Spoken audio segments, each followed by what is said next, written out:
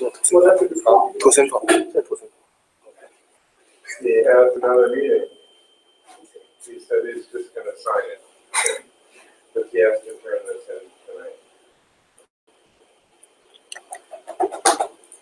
Yeah, we have these faculty marathon ten to eleven faculty, eleven to twelve. Which is a lot of people, that is going. Yeah.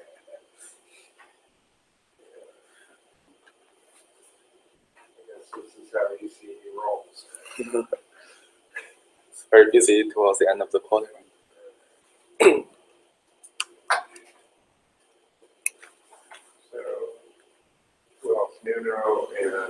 yeah, just just Nuno, okay. Chung just.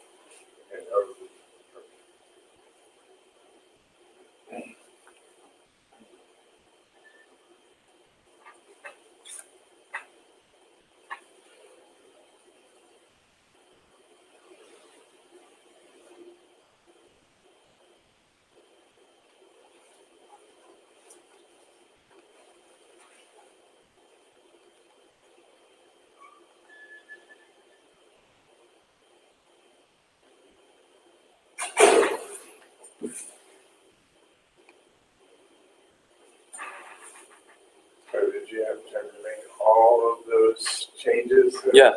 Yeah, sure. Yeah, not so many. There was something I saw. okay.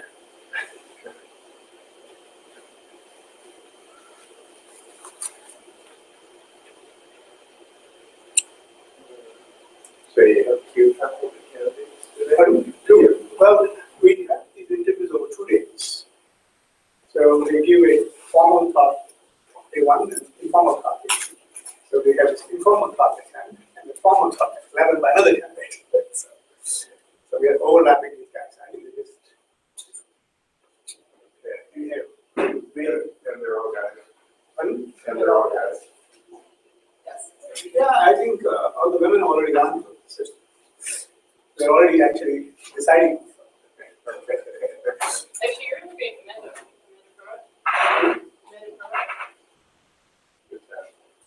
Amanda Crowe?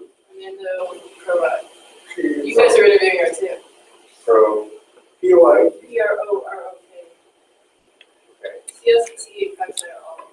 That's what I heard. That's probably, what I heard from her. yeah, I, I'm not involved in She this. does human robotics interactions. okay.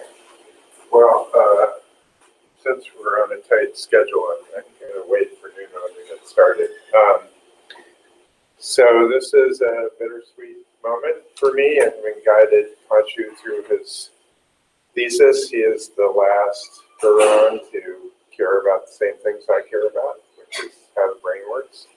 Um, and uh, I'm not taking any more students at the moment, so um, you're it. I really appreciate everything, uh, all the papers we've written together, and uh, uh, so take it away. All right. Uh, hello, everybody. There's a party where I have my ass for anybody that wants to come. Yep. So hello, everybody. Uh, welcome, welcome to my thesis defense. The topic is towards the deep model, uh, and understanding visual recognition through computational models. So here is a picture of the overview of my research. Basically, like Gary said, I want to understand how the vision works, especially how visual recognition in the brain is achieved. So uh, David Marr in 1983 proposed that in order to understand vision, three levels of analysis should be performed. At the computational level, the algorithm level, and the implementation level. So since my background is in engineering, I will start with the uh, computational level, that is to use uh, neural computational models to understand human uh, visual recognition. More specifically, I want to use models to do three things. So first, I want to use models to simulate uh, um, some uh, cognitive behavior, uh, cognitive phenomena and behavioral data related to visual recognition. And then I want to use models to explain why and how we can observe the data of phenomena. And, and third, we want to we also want to use the model to predict what is really happening in the brain. All right, so here's is the outline of uh, this talk. Uh, uh, first, I will give a brief introduction of the models I use. And second, I will introduce three projects related to cognitive, uh, cognitive modeling. So the first one is about modeling the relationship, the relationship between face and object recognition. Second one is to model the hemispheric asymmetry of face processing. And the third one is to model the contribution of central versus peripheral vision on scene processing. And finally, I will describe a project on the application side that is to improve semantic segmentation using deep neural networks. All right, so uh, let's first uh, introduce uh, what's my, my research background. So basically here, I show a picture of the ventral temporal cortex. That's uh, the place in our brain that's where uh, visual recognition is achieved. So basically, like you can see, there are different colors uh, of regions or different class of neurons that are more that are more activated for certain kind of object categories. For example, those red areas are more um, activated for faces, those gray areas are for, are for scenes, and those uh, blue areas for objects, and those um, uh, brown areas for words. So basically, um, there are different. Um, this hierarchical, uh, sorry, this uh, functional uh, specialization is kind of an advertising principle in visual recognition. So in my research, I care mostly about how faces, scenes, and objects are interacted in our brain. And I want to use model to explore um, those uh, uh, related phenomena. So the model is simply called the model, which was proposed by uh, David, uh, sorry, Gary Cottrell and his colleagues 20 years ago, and have been in development since the last 20 years. So basically, the model has two parts. The first part is a pre-processing uh, module, which contains two steps. The first step is called uh, Gabor filtering, which uh, is trying to model the uh, feature response of V1 complex cells. And the second model is simply the PCA, uh, which does the uh, feature compression and dimensionality reduction. After that, the feature response will fit into a two-layer artificial neural network. So basically, the neural network will learn task-specific features based on the output. So, for example, if the task is simply the, the uh, uh, face identification, then the output nodes will correspond to each individual faces, and the hidden layer can be treated as uh, corresponds to the region that does um, face recognition, that is the fusiform face area in our brain. If the task is to do the object uh, object recognition, then the output nodes will correspond to each individual objects, and the hidden layer will can be treated as corresponds to the la- lateral uh, occipital complex or LOC. That's where spatial uh, recognition is achieved in, for the objects in our brain. And here is some variants of the model. So here, uh, this, this is a two pathway version of the model. So by, by uh, in, in, in increasing one pathway, and then uh, incorporating a gating layer, which uh, will modulate the contribution of the two pathway, we can model more complex uh, phenomena in the brain. For example, the interaction between the left and the right hemisphere. And here uh, is another variant of the model, simply called the deep model. Basically, you can treat it as a deeper version of the model. So it has the same structure as the two pathway and one gating layer. Uh, the, different thing is we incorporate the deep learning techniques into building the model. So like we have the convolutional layer, pooling layer, and some uh, like non- nonlinearity to uh, enable the model to learn more rich features and uh, uh, to be able to perform well on complex tasks. And uh, okay, so now I will just uh, briefly describe the three projects related to modeling. The first one is to model the relationship between face and object recognition. Okay, uh, this uh, is a project done with Isabel uh, Gauthier at Vanderbilt in 2016. So the central question we want to answer here is whether face recognition is independent from general uh, object uh, recognition. There are some debates in the literature. For example, before the fMRI studies, uh, some some studies shown that um, faces are only activate, uh, sorry, faces are processed in a domain-specific module that is the FFA, the fusiform face area, not not and- and is not activated for other objects. However, uh, some other studies are challenging this idea by saying actually FFA is activated for non-face object categories of expertise. For example, you have um, are expert in words and cars, then uh, your FFA will also be activated. And uh, in some behavioral findings, uh, some people find found that um, when you measure the performance of face recognition accuracy, that is through the Cambridge face memory test, and uh, some um, performance for non-face object categories, the shared variance is very low. However, in, in et al. in 2014, they, uh, what they found is that uh, was that when you measure the performance for faces and the non-face object categories with expertise, uh, with very high experience, the shared variance will, uh, will be very high. So in our study, we are trying to model uh, the data and the, uh, the data and phenomena observed in uh, et al. in 2014. So basically, to formulate uh, their findings, um, uh, what, what they propose is the following equation. So the performance of given object category uh, is determined by two factors. The first uh, uh, factor is little v, that is the domain visual general ability, uh, simply the, the amount of resource uh, you have in the brain to, to, do, uh, to perform the object uh, and face recognition. And there's another factor called experience of that category that modulates uh, the ability that um, that uh, means um, the, the experience can modulate how much of your visual ability can be expressed in order to achieve good performance. So, for example, if you have very good, uh, but you have a lot of experience in a certain kind of object category, then your visual ability will be more, more uh, expressed, and you will have higher performance for that category. And uh, basically, um, in their behavioral study, they collected 256 human subjects and divided them into six different groups based on their skills. This is experience from low to high.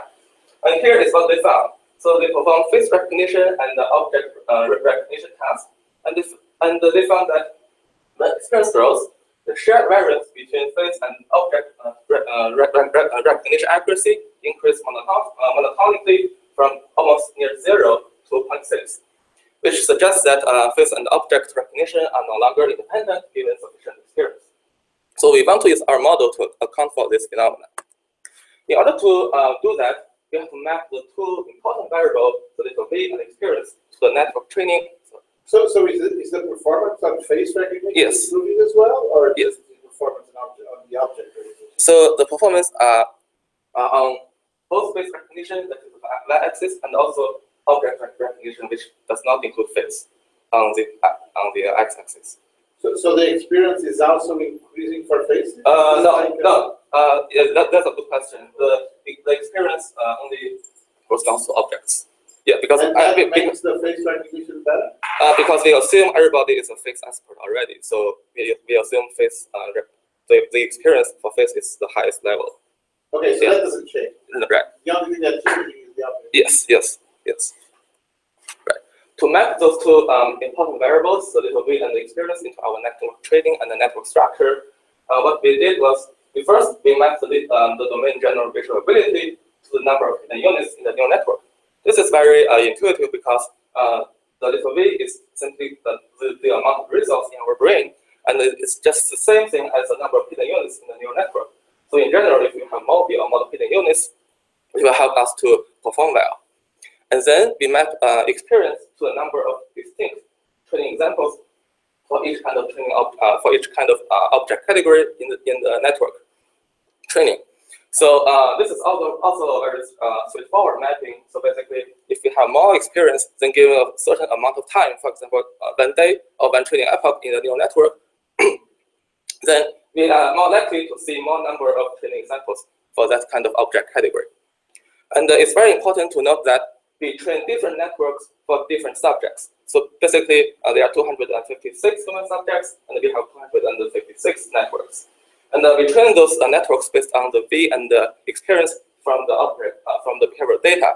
That is, we obtain the, the, the, the little V from the performance on face recognition. We, we, we can do that because everybody can be assumed as a face expert. So the uh, experience level for face can be treated, uh, can be assumed to be 100%. And their uh, V, domain visual general ability, can be fully expressed by the uh, experience of the face recognition. And then we just map um, experience uh, by using their self-reported score um, uh, for the uh, overall uh, for the all object categories, which is very uh, uh, straightforward. And then in the modeling procedure, sorry, in the training process, we just train face recognition first to mimic the fact that everybody um, use your face from the beginning, and uh, people also perform the uh, face uh, uh, face recognition test when they do the behavioral study. And then we, uh, we train the face and non-face object categories together to mimic, to mimic the fact of the object rec- re- re- recognition experiment in the behavioral study. All right, all right. So and here is what we found. So the, the top row is simply uh, a replication of the behavioral. Uh, uh, sorry, it's, it's just the behavioral data, and the second row is just uh, our modeling result. So as you can see from left to right, means uh, the experience increases from low to high. Uh, we replicated the findings of, of Gauthier et al. very well. So basically, the shared variance between phase, that's the y-axis, and, not, and objects, that's the x-axis, increases monotonically from almost near zero to 0.59 or 0.60, uh, which demonstrated the possibility of, of our model, and, and, uh, and it suggests our mapping of the V and E is quite reasonable. Okay, then one might ask the question, so since we are doing uh, the uh, object, object, recognition at a so, uh, so-called subordinate level, which means um, for certain kind of uh, object, for example, the chair, you have to name the type of the chair. For example, those are Windsor chairs. However, uh, there's one important level of categorization, which is simply called basic level classification. That's the first uh, impression or first word coming coming to your mind when you look at uh, this kind of uh, chair. Uh, and we just name it chair as a basic level category. Uh, we just want to see whether basic level categorization can also see the same kind of experience modulation effect. And our uh, experiment uh, here is our result. So basically, uh, what we can find is that uh, no matter how experience changes from low to high, the shared variance between phase and non-phase uh, on the, and the object uh, recognition accuracy is quite stable between uh, 0.3 and 0.4, which suggests that there's no obvious um, modulation effect for experience. So we have uh, what, what they think this may happen uh, is that the task for basic level categorization is uh, much easier than the subordinate level classification because we do not have to individuate different uh, types of, different individual objects. So uh, in that sense, not, not much experience is really needed for us to perform the basic level categorization. As you can see from the y-axis, that's uh, object recognition accuracy. So no matter how, how experience changes, the, the, the, the accuracy uh, is in a certain range, so it does not uh, change so much. So basically what this result suggests is that the type of, of experience really matters. We need the uh, subordinate level experience, not the basic level. And then uh, we just want to uh, explore what, what, what is the real role of experience that make uh, the modulation effect happen. So by, by, um, by exploring that, we just train two networks. One network, that's the top row, we train it with low experience for all kinds of objects. And the second row, we train a network with high experience for all the objects.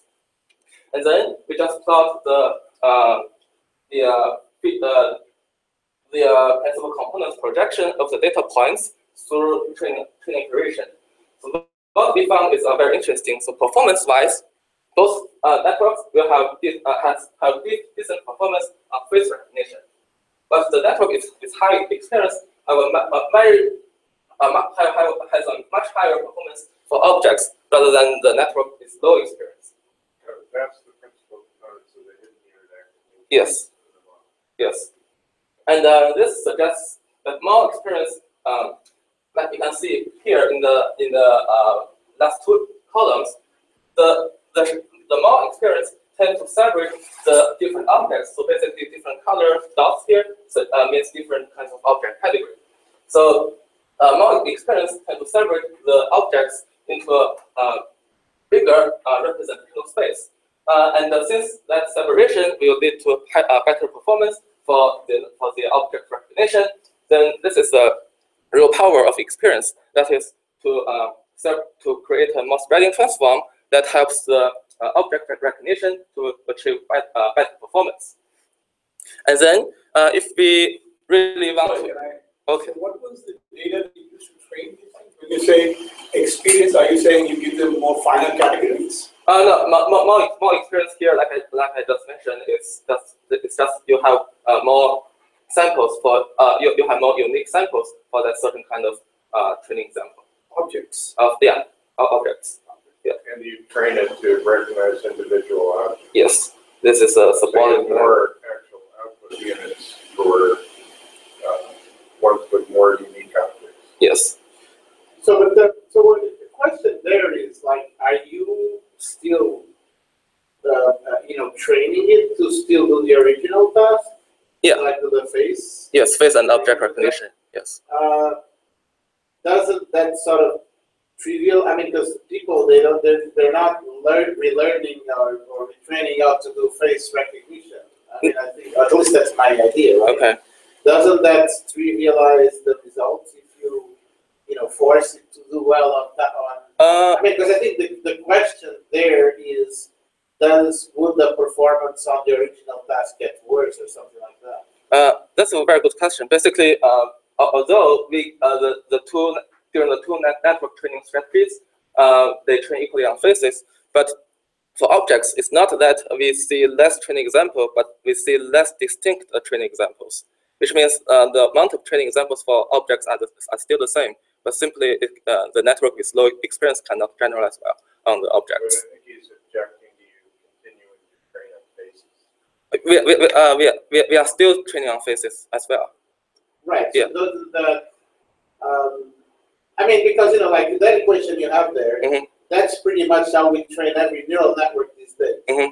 You, you know, this fine tuning thing is like, well, there's a, if there's a really good network, Mhm. the better the network, the better the performance is gonna be. Uh-huh. And then you just fine tune it to new data, and then you can call that experience. Uh, And, you know, you you run, you know, you, you train on new data, you train for more iterations, or you're training with more data points. That's Well- like, you know, what fine tuning is. yeah, yeah. Now, the yes. issue is that it gets worse in the original task. Well, these faces actually are recording lower. Yeah. On the, faces are eighty-seven point five on the top, and eighty-two point three on the, bottom. right? Uh, right, but uh, th- th- those are the uh, But that average. doesn't for people, right? So that, that I think would be the critical, Well, The Issue there, no?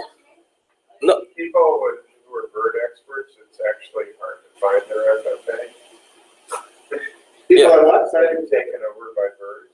Yes. So, for, for example, uh, some some kind of um, there, there's there might be some competition between the simultaneous um, tests between uh, face and non-faces. Yeah.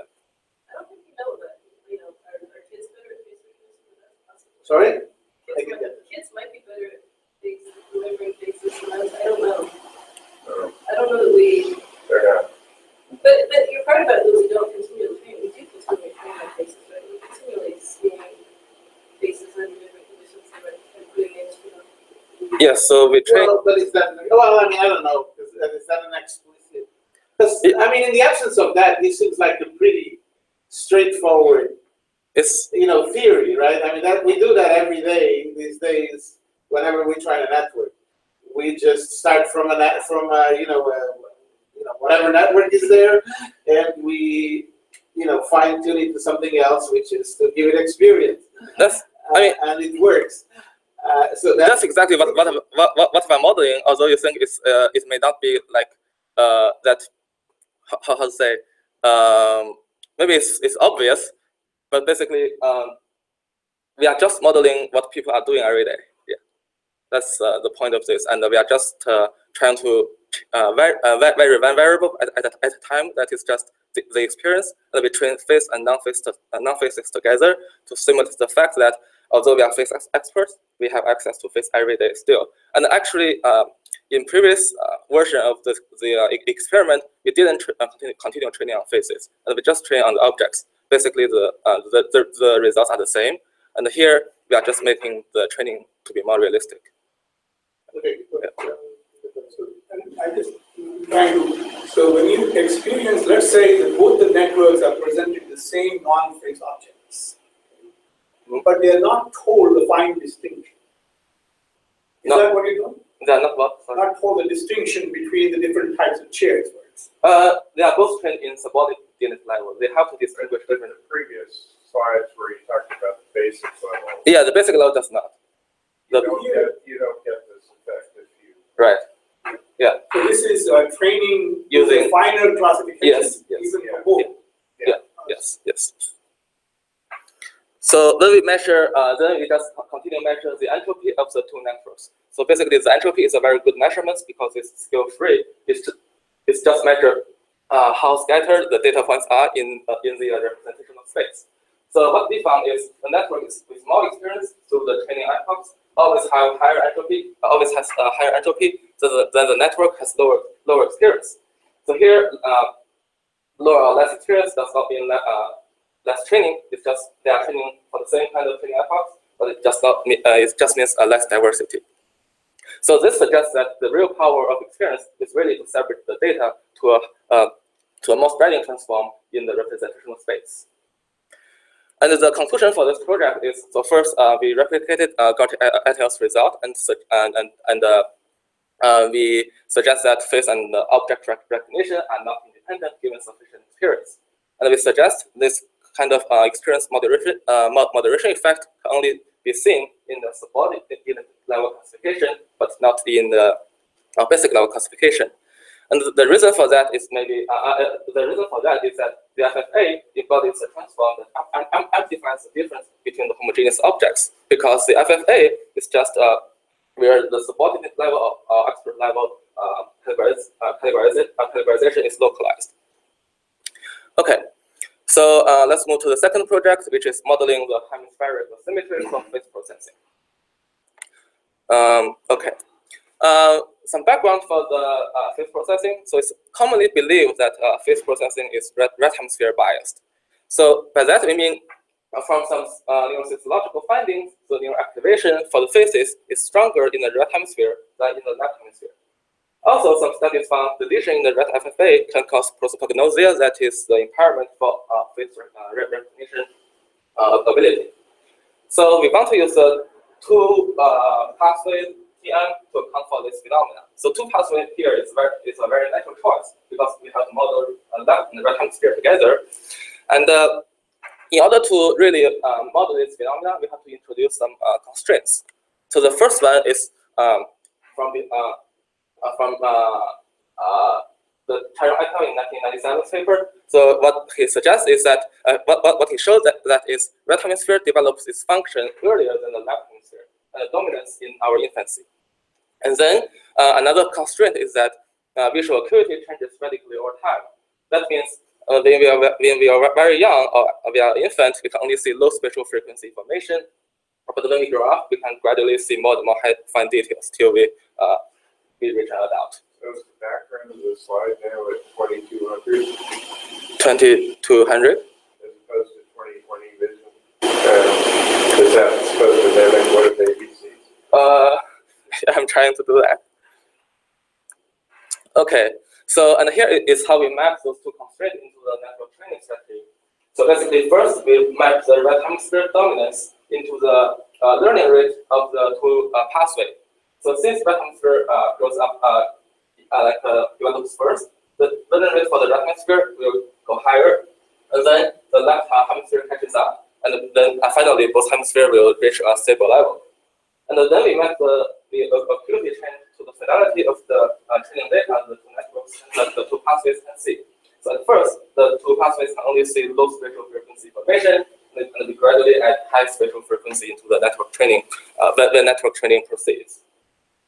And uh, we just perform the subordinate level classification on faces, books, cups, and digits, and uh, we want to record the weight of the gating layer because that's what that uh, uh, records the uh, distribution of the two pathways. Um, so, and here is what we found for the face recognition. So, uh, the left uh, figure shows when we train the two networks using the same learning rate, then there's no significant difference between uh, the gating of weights for all of the uh, all object categories. But when we train the face uh, expert with different learning rates, that's uh, uh, waves of plasticity that we just saw in the, in the previous slide. You can see a very strong atmosphere bias for face recognition that is almost uh, 20, uh, 20, 20 times higher in terms of the gating node value for the left hand, uh, for the face uh, for the for the face category. However, what's interestingly is that this What is module one, module two? oh it's here. What is that bar? No, no, I know what that means. In the- in the curve, what are we saying? What is that? Average This one? weight? Is that the average weight? Yeah, yeah. The the, the, That's the, the weight that's the mixture weight by the expert. Yes. For, Yeah. okay. just the value of the gating node uh, So of the is it a function of maybe how blurred the faces you present? So in other words, there's a blurring effect that you're doing Yeah. right, in the data, yes which is to mimic the fact that you're presenting low resolution stuff in the Right, beginning right. and higher resolution stuff later. yes, and The question really is if you blur the faces enough, Mhm. will the weight change? Uh, no, actually, this uh, match, thi- this uh, getting of the value is measured after training convergence, which means we already see the full re- re- re- resolution of the stimulus. Yeah. So, so what's the, so, for- so, so what is the task? So you're classifying faces against this random object? We are we are classifying faces uh, at a subordinate subordinate level. That's each individual, but at the same time, we are uh, trying to classify other object categories at a basic level. So, so Yeah. you define the classifier as like ten face classes? Yeah, and the three and the three other nodes representing each uh, non-face category Okay. because um, it means this network And focus what are you changing? So you're changing the learning rate on the two sides of the network? yes. And you're learning, changing what else? Uh, we are changing the the fidelity of the data, like the, we first give the network those spatial frequencies. The resolution. Yeah, the resolution. Yeah. And uh, we see this effect on face, but not for other object categories, for example, cups or digits. And when we uh, visualize the uh, gating of the value as a function of the training time, what we can see is that uh, for all object categories, uh, because the right hemisphere develops earlier, the gating of value for the right hemisphere will increase first. But for other, for all categories but faces, when the left hemisphere catches, catches up, the, the gating of the value for the right hemisphere, they all drops, but uh, they all drop, but uh, for the for faces, What is the remains stable. Is the classification accuracy? No, it's the gating node value. The gating node value for the uh, red uh, for the red hemisphere, which is the uh, red bar, uh, red, red, line, and the the blue line means the left the left hemisphere. What is the, what is the gating node? So the gating node is just uh, here. It measures the relative contribution of the two. So is it like a multiplicative weight or something? Yeah, Uh, yeah, it's, it's, it's sort of a, mu- mu- mu- mu- a multiplication of the base of the two pathways. So And is this, is this, so but is this supposed to model like a choice or something? Yeah. between the two? Uh, it's so, but yeah, yeah, exactly. Yeah, it's called uh, uh, a mixture of expert structure. So if uh, one pathway contributes small to the uh, final output task, then the get va- value because it will uh, will receive a higher error signal. It will be- But is that, is that critical to have that gating there? I mean, why would the, that, that's what, that's what governs which, uh, network does the, you know, the particular job. So it gets the same input as the input layers and it, uh, chooses which pathway to use to solve that particular problem. So but that, that is an assumption that there is a value in breaking up tasks or something like that? Jacobs, Jordan, Nowlan, and No, I know, but, but like in the brain, Mhm. you know, why, Yeah. why would the brain s- think that there, I mean, you know, isn't that like the conclusion Mhm. that you're trying to prove? That, you know, somehow this structure forms? If the model already encodes that, it's kind of like, But it doesn't. It doesn't. It doesn't do that for anything else but faces. Way to Right. learn. sorry? Way to learn. Getting, getting way to learn. Yeah, Right, the but way to learn. if- but you like, you know, there's this assumption that it's good to choose one side or the other, somehow, you know, for some reason. But it doesn't, I mean, I'm not disputing that that's what's happening, I'm just like saying, why would like Yeah. nature or evolution find that that's a good thing, like? Yeah, because it, uh, that we do not know the answer for sure, but maybe it's more efficient because you only, only use a part of your brain to do certain kind of thing. It might be of the reason. So what does books mean? Uh, you have to individual different books, uh, the book covers actually. Yeah, yeah. So I, I'm just trying to see what has, you know, why is this representing the brain? I, I guess, Uh, for me, I can see that you learn faster faces, that's true, but I don't know why.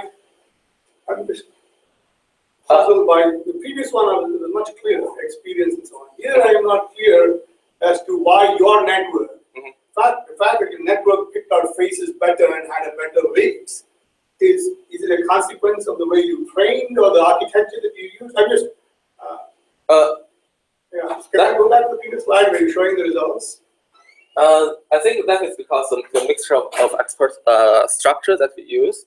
Uh, that by, by, by, by showing that, it's, uh, it's very easy for us to identify which uh, part contributes more to, to, to, to, to the task. But it does, So does not. phrases, let's say you remove phrases from the discussion, Mhm. and you train your network. Yeah. it'll come up with weights. Maybe one of the weights will be higher and one lower. Yes, yes. Would that lead to your conclusion that that is what the brain does? I'm just trying to see if you can go backward at all and, and correlate that what you've done is really reflecting what the brain, you know, somehow this network. I'm just trying to figure out what is the relationship between the two, how they, how they actually tie. The, the fact the brain does it is, is, is documented, and you're trying to say that somehow this network is mimicking that behavior, right? Uh, right. So basically, the network is trying to mimic the uh, cognitive phenomena related to visual recognition in the brain. We are not saying the, the network is just what the brain is or what the brain does, but uh, what we suggest is that the brain may use this function or may use this uh, kind of similar structure uh, to perform the, uh, the visual recognition. We are not saying we are, the, the model is just the, the, the, the brain. So, just- so let, let, let me ask a, a, related question. Okay. Wouldn't it, the result be more impressive if there wasn't that gating network? If you weren't forcing the network to choose or whatever, or encouraging it to choose or whatever? Mhm. Because it's, it almost seems like, you know, you already encoding that in, you know, that, um, I mean, I think it's cool, you know, that it does that for faces and whatever. But to some extent, I think that's weakened because you're encouraging the network to have that behavior to start with. You know, I think that if you didn't have that gating, those gate, that gating nodes, and this still happened, you would be, you know, even cooler Can because. you go back to your results slides? Okay.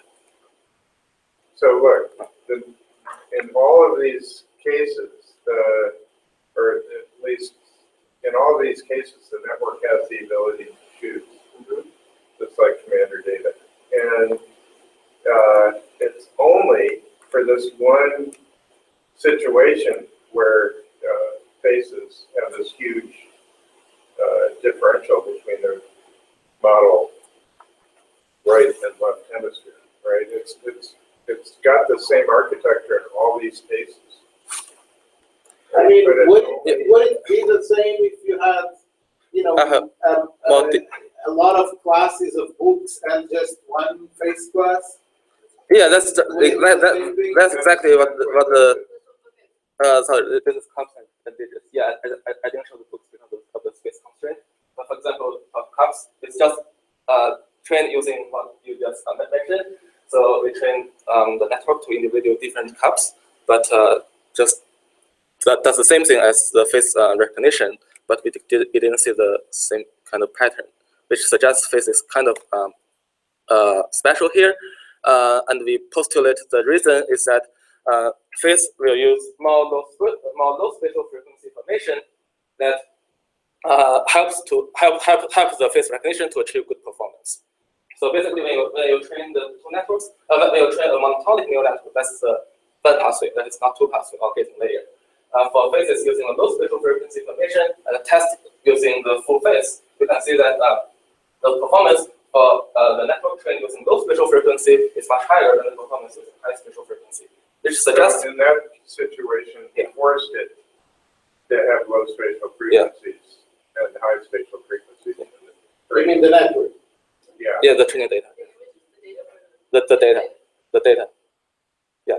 So by, by, by that I mean uh, face recognition may prefer the low spatial frequency information, and uh, that will contribute to the uh, the right hemisphere predominance for face recognition. And that and that and that, that uh, is the reason uh, why face is special here. And uh, again, we're not saying this is the brain, what, what, what the brain does, but uh, we, we, we kind of suggest that it's, uh, it's, it it is one possibility. so all models are wrong, but some models are wronger than others. Yeah. Sure, sure. That- Sure. No, I, I mean, I think it's interesting that that result showed. Mhm. Um, I, I, you know, um, All right. Yeah. Well, it, uh, Virginia has a question. That's okay. So um, let me uh, let us move to the uh, third uh, modeling project, which, which is modeling the contribution of uh, central versus peripheral vision on scene processing. This work is just uh, it, it's still in press. Uh, peer- peer review. Okay, so uh, brief introduction, uh, background overview of central versus peripheral vision. So basically, the distribution of the photoreceptors on our retina is not uniform. So within five degrees of uh, visual eccentricity, we have a very high density of rods and cones and of photo, of photoreceptors uh, that will help us to encode uh, more fine detail of high spatial uh, resolution information. However, outside the uh, central vision is just the peripheral vision, that is the, uh, region here, uh, which has a much lower uh, spatial resolution, sorry, which has a much lower density of the photoreceptors and will encode only low spatial frequency information. And from the uh, retina to the primary visual cortex, there's a transform called polar transform. Basically, it will transform the polar coordinates in the uh, um, in our uh, re- retinal plane to the Cartesian space in, in our uh, in our visual cortex. So what the, the transformation does is it uh, it will amplify or magnify the uh, region of, of, of, the central um, because of the cortical magnification uh, uh, mechanism. So I, I have a better figure uh, in the in next few slides to show an example. So uh, in Larson and Loschky in 2009, they uh, designed a behavioral study which want to uh, explore the contribution of central versus peripheral vision in scene recognition. So what they did was uh, they recruit the human subjects, and for each human subject, uh, they they run experiment for two conditions. The window condition in which they can only see the region inside the window of the scotoma condition, which means they can only see the uh, uh, information outside the, the scotoma. So basically, it's want to use this um, two condition to model uh, to see what is the scene recognition accuracy when they only have access to uh, central vision, and they have different uh, four sets of uh, conditions. And here is what they found. So five degree is just is just the, the separation between uh, central and peripheral vision. So at five degree of visual angle, what they see is that um, the, the accuracy for the scotoma condition, that is the, the condition you uh, do not you, you have no access to the central uh, the central vision is always higher, uh, is significantly higher than the network sorry than subjects is tested using window condition, which means you can only see the window but not the you can only see the central vision but not the peripheral information. So basically, what this suggests is that the loss of central vision does not harm the scene recognition performance, but the loss of peripheral vision will not cause the more, the more severe uh, impairment for the uh, scene recognition uh, accuracy. So we want to use our uh, model to basically uh, model this effect and try to explain why this happens. So the subjects were looking at images or? Uh, yeah, they're looking at images like this. Yeah, that's the human subjects are doing. Um, we want to use uh, uh, deep networks uh, to model um, this uh, be- be- be- be- behavior data. So we use three networks. They are just uh, the very popular choice: AlexNet, VGG, and GoogleNet. Um, we to use. Uh, we to see whether the choice of networks can make any difference. So we have two different uh, experimental conditions. The first one is called the foveated version. So basically, in an original image, you just want to, the image to mimic the that the fact that central vision, uh, central area has a higher spatial uh, resolution, and the peripheral vision has a uh, much lower uh, spatial re- re- resolution. And in the other condition, we have foveated image plus the, the log polar transformed image, which means we, we, we perform the, uh, the foveation first, and then using the log polar transform. So now you can see the central region is significantly amplified when compared with peripheral. As you can see at five degrees of visual angle, the central uh, vision is almost three times uh, larger in terms of the pixel area, but in the foveation condition, it's kind of like the reverse. So there's a very uh, significant uh, uh, mag- magnification effect. So uh, here is what we found. So the left figure is just the behavioral data, and the middle one is a foveated version, and the right one is the log-polar transformed version. So basically, uh, for all networks we tried, and uh, no matter uh, how the condition changes, we kind of uh, we just uh, uh, uh, replicate their findings at at five degree of visual angle. The network that is trained using a scotoma condition that is um, we can see more peripheral vision always outperforms the network trained using a central condition. What's more interesting is actually when trained using the polar condition, the shape of the curve is much more similar to the behavioral data than simply using the uh, version. So basically, there's shallower drop in the scotoma condition, and there's sharper increase here, the blue line for the for the window condition. What this suggests is that by incorporating the realistic constraint, such as the polar transform or cortical magnification for the central vision, the um, we, we, can have the, our uh, uh, uh, we, we, our, modern result can, have a better quality and uh, will more like uh, the behavioral findings. What are the different variables for? Uh, the, uh, uh, you, the different curves? The, the, the, uh, those, those are the different networks. Basically, yeah, they have the uh, same findings.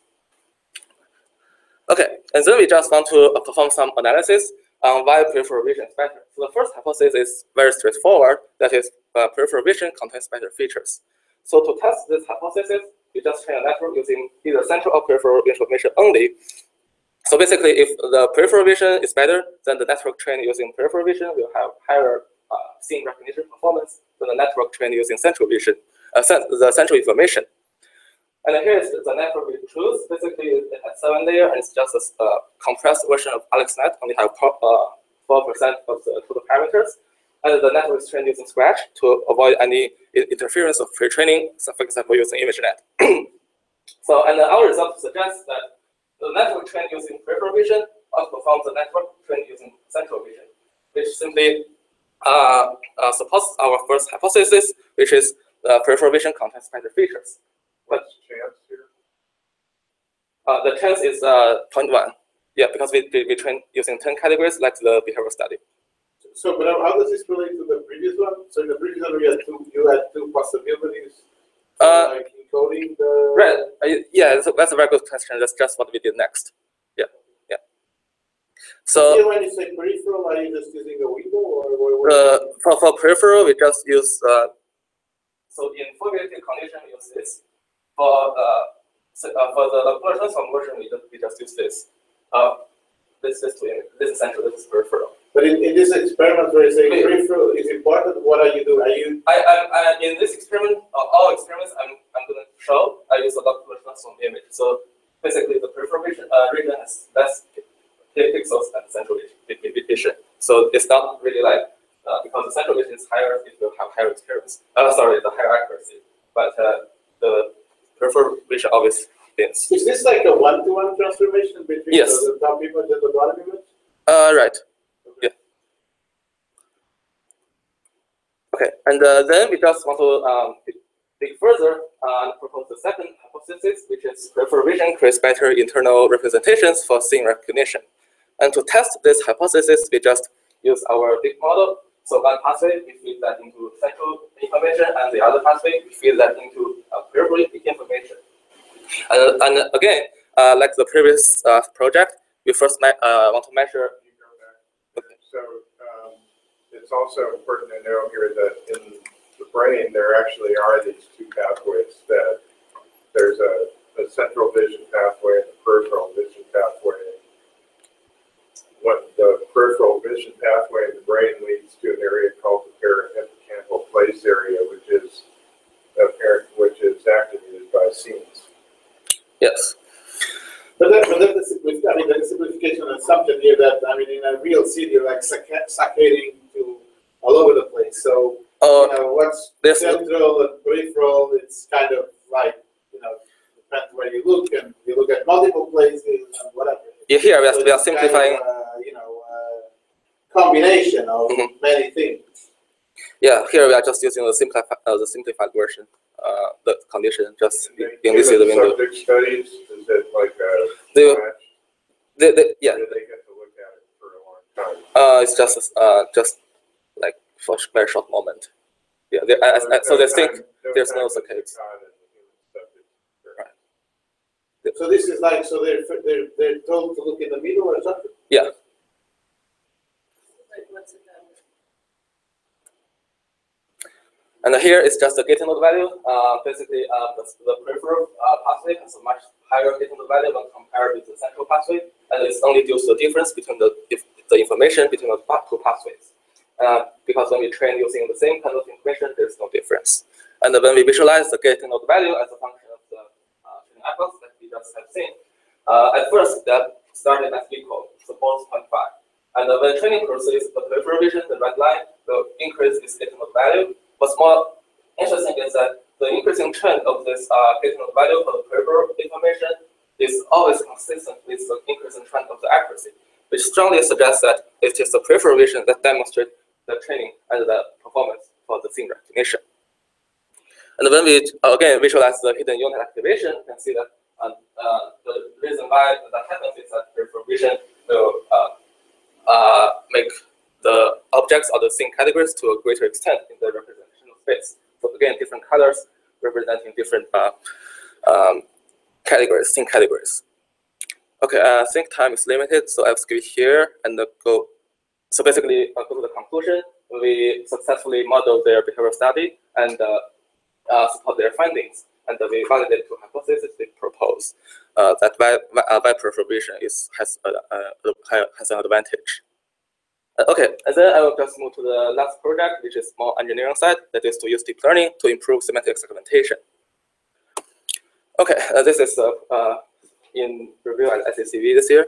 So, what is semantic segmentation? So in web, IE, it didn't get into CD. What, I didn't get, I said it's in review at ICCD, i.e. it didn't get into CD. right? Unfortunately, so the semantic segmentation means we want to label each pixel in uh, of the image uh, into its category label. So it's very important for scene understanding and uh, and uh, autonomous driving because uh, the car or the camera has to understand what's in its surroundings. So, for example, which pixels are cars, which examples are uh, which pixels are roads, and which are traffic signs. So here uh, we just uh, propose uh, some uh, better convo- uh, better convolutional operations for semantic segmentation. So in terms of that, uh, we propose two uh, methods. First one is how was that, how was the segmentation done here, what is? it's called semantic segmentation. Pardon?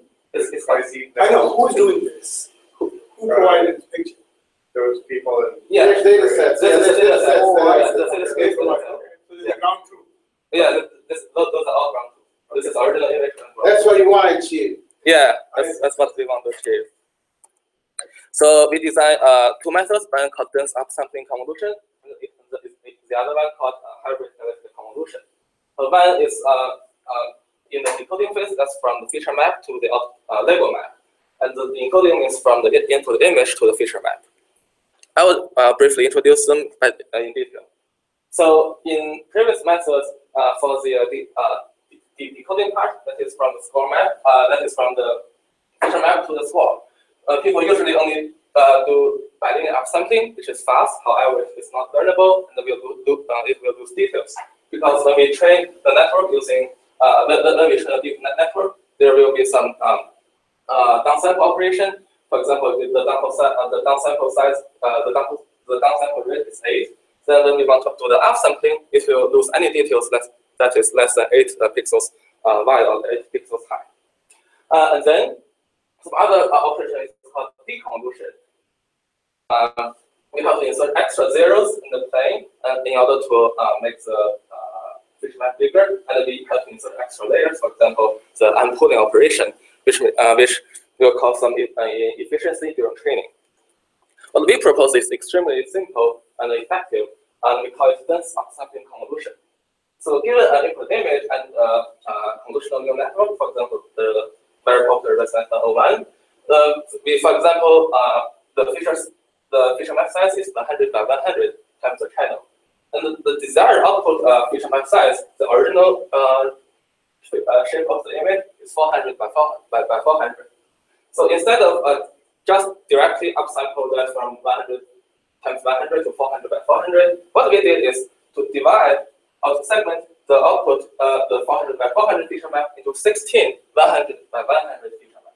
And then we stack those 16 100 by 100 feature, map together and put it here and directly apply a convolution operation from the 100 by 100 feature map to, to this uh, stacked uh, layer, layers of image uh, of the output. So basically, we, we just learned the upsampling through the convolutional layer. So there's no uh, inserting zeros or there's no extra uh, layer, and it's very dense because we just perform the convolution on each pixel. And it's very easy to implement, there's no extra layer, and uh, it enables end-to-end training. And here is the effect of the DUC method. So here's the input image, and here is the ground truth.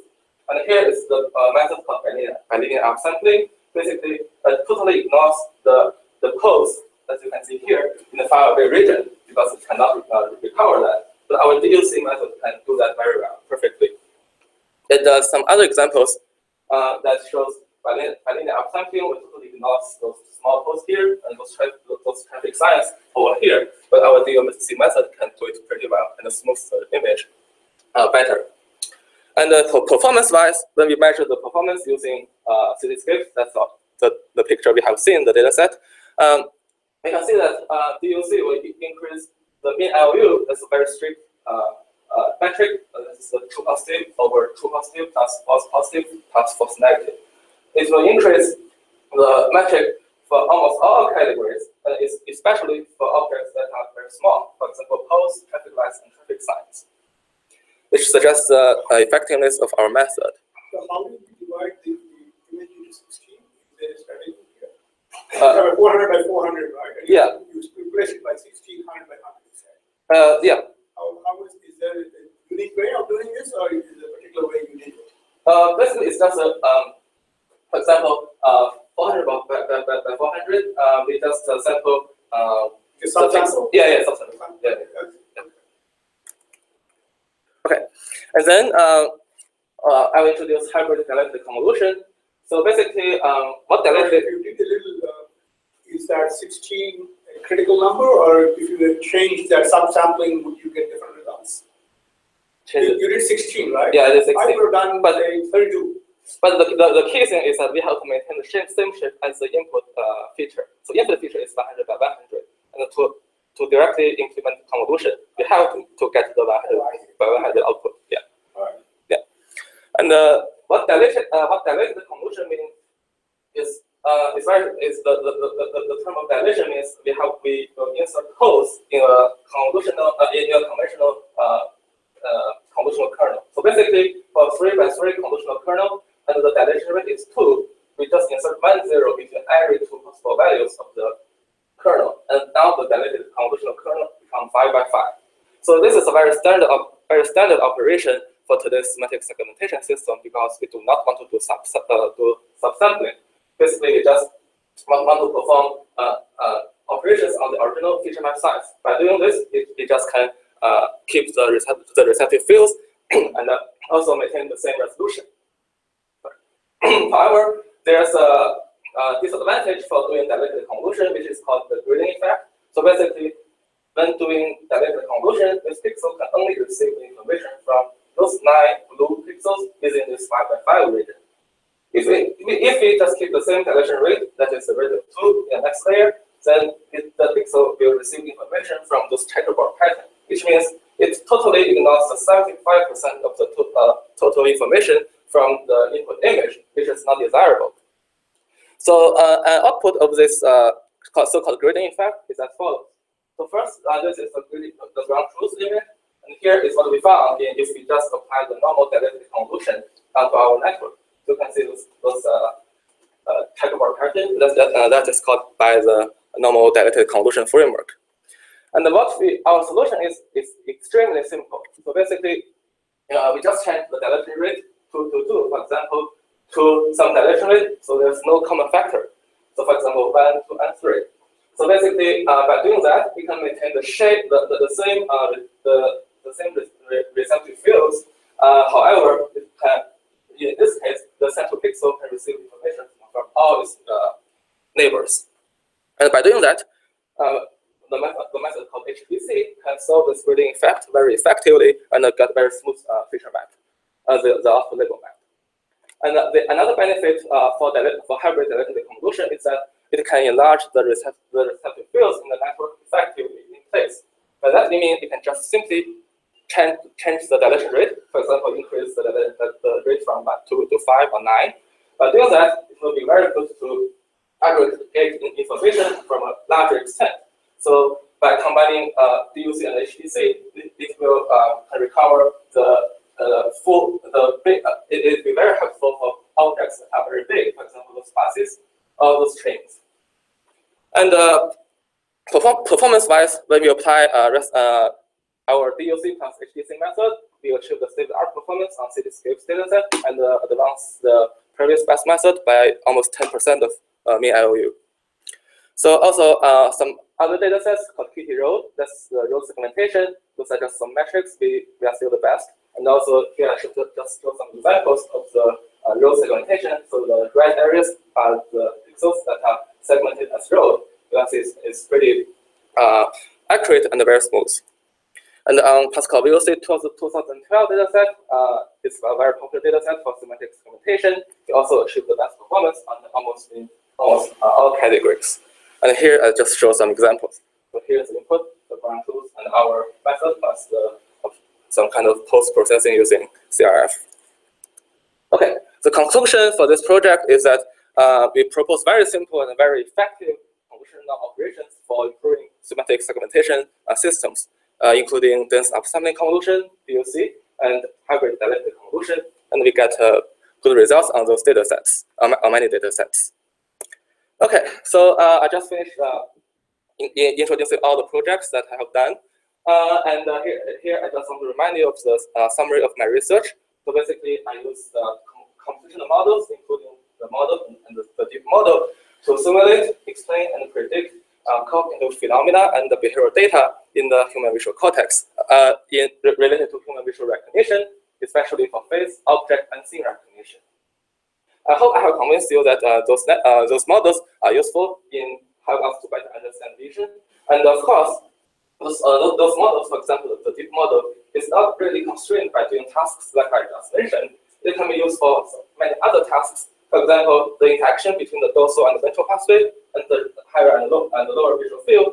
And uh, basically, we can even uh, make it like uh, uh, not only two pathways, but many other pathways, uh, like the, like a eighth pathway, for example, to mimic the fact that there's so many interactions in our brain.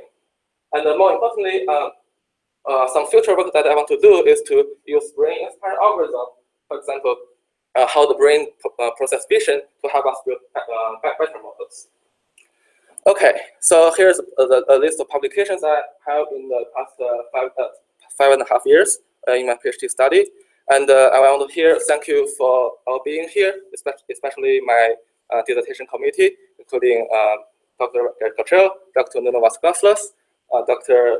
Virginia de Sa, Dr. Cheng Nui, and Dr. Bhaskara.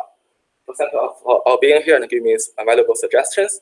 And I also want to thank my collaborators for my uh, thesis, uh, research and projects and papers, including uh, Isabel from Vanderbilt, Chris, uh, Ben Vicente, are all my lab mates, and uh, Tongfei Ye Ding Sohan Study, that's from uh, the company I'm, um, I'm, I'm, I'm uh, Internet for doing the semantic segmentation project.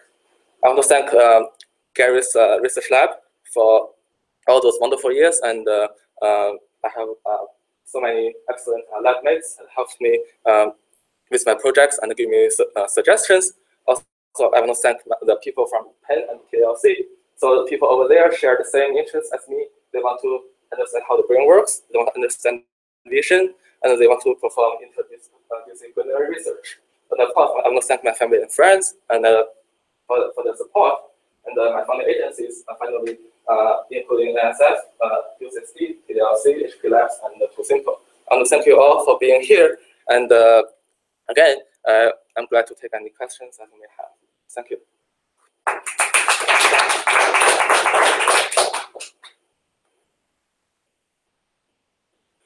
I think I've asked all the questions I have. Any questions? from- Yeah, any questions from audience or? Not on the committee? I guess one, question I have is, um, I recently saw talk about trying to remove as much supervision as possible Okay. from computer vision algorithms to sort of simulate how people don't learn from like these ground truth data sets. Okay. And so do you have like an idea of like taking this work into like exploring like more unsupervised, uh, methods of like say image segmentation? like you showed? Uh, image segmentation, I mean, from the low level, is totally unsupervised. For example, those, uh, if, you, if you do edge detection or something like that, it's totally unsupervised.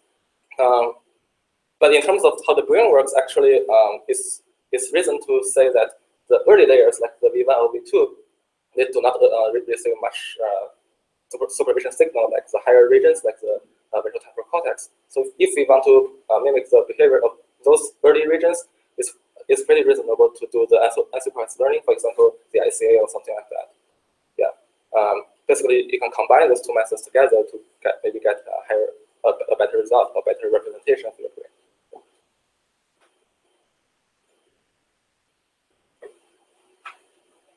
um, does the committee want to kick out the servers okay. so uh, should do it just the same okay thank you Jack.